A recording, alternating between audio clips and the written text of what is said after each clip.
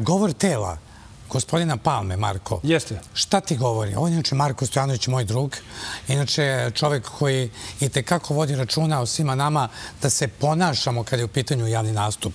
I govor tela. Šta ti govori govor tela, gospodina Palme? Pa smiren, pitom, ne onako usplahiren kao što on povremeno ume da bude i u skupštini ume da odgruši, što je lepo. Reklo bi se onako vojiteljski došao je sebi. Došao je sebi. Dobro, dovoljno, dovoljno. Da li znate da tumačite nečije govore telo? Ovaj čovjek zna. Nekada nam sagovnici mnogo više kažu svojim položajem tela, gestovima, mimikom, nekom neko rečima, kako da prepoznamo šta govore telo i govore osobi i kako da upodribamo neke trikove da bismo prikrili našu nesigurnost, istekli malo vrline. O svemu tome govori Marko Stranović, koga sam juče, gde sreo? Reci gledalcima. Sreli smo se na pumpi, ko ljudi. Benzinskoj. I benzinskoj. I nismo natočili ni jedan ni drugi pun rezervoar. Pa normalno, Nema se, može tada se radi. Ali sam dobio knjigu od tebe koja nam je u kolima, sa sve posvetom, ali sam i ovaj, govorom tela rekao tebi šta? da se dugo nismo vidjeli, jer obojca smo vakcinisani i mogli smo se zagrlimo ko ljudi, lepo se potapšemo po leđima. I da dođeš u studiju. I da dođem u studiju.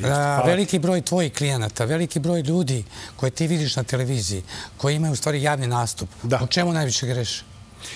Pa, pa najviše greše što pokušavaju da budu neko drugi. Mislim, svi mi se trudimo da nešto glumimo i da budemo neko drugi. To, nam, to nas prati ceo život.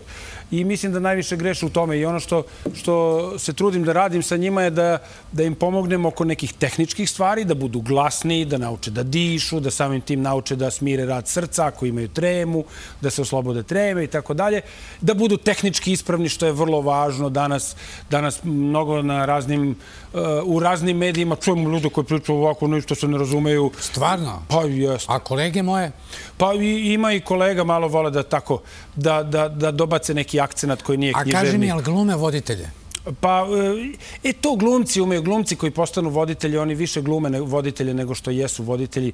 Mi malo nemamo, e, na primjer, e, sad sam, dok sam čekao da uđem u studio, izračunao da se ti ja znamo otprilike 26 godina. I je se nešto promenilo u tom odnosu? Kako, u našem odnosu? Ne ljubavom, ne seksualnom, nego... Nego ovdje... Da, da, verbalnom, verbalnom. Verbalnom. Nije se promenilo ništa. Ti ja, ovaj, kad god se sretnemo, bez obzira što se ne sećamo mnogo često, ovaj, u stvari smo dobri drugari i mene to rade iskreno. Ali e, ti si kao voditelj sazreo i e, od voditelja si postao domaćin. E to je ono nešto što kod nas u našim medijima nema toliko puno tih domaćina emisije. Znači čovek koji te primi kod sebe kao u svoju kuću i koji tako vrlo nonšalantno, prijatno e, razgovara sa tobom. Nemoj mnogo, posle ovog razgovora mislit će da tražim povećanje plate. Mislim da je ovo sasvim... Ne, ne, ovo je sasvim okej. Ne, dobro. To je znači neki savjet za sve nas, za sve one ljudi koji imaju javni nastup, a javni nastup je u prodavnici. Ja, tako je. I u kiosku. Javni nastup je u pekari. Treba biti onakav kakav jesi, je li tako? Tako je, naravno, ako hoćeš nešto da sakriješ ili nešto da pokažeš dodatno, za to ti već treba neka tehnika i da imaš svest o svom telu i svest o svom glasu i o svojoj dikciji i onome šta govoriš i kako govoriš. Kako bi ti sad, eh, pošto ti je ovo kraj našeg razgovora, nema više, kako bi ti sa gestikulacijom i žaljenjem gledalcima u kameri 3, eh, da, napravio tu gestikulaciju? ali to je već onda, već odlazimo u glumu i francuska škola koju si ti završio. Mnogo ti hvala na ovom razgovoru. Hvala tebi. I znaš gde se vidimo? Gde? Pa na pumpi.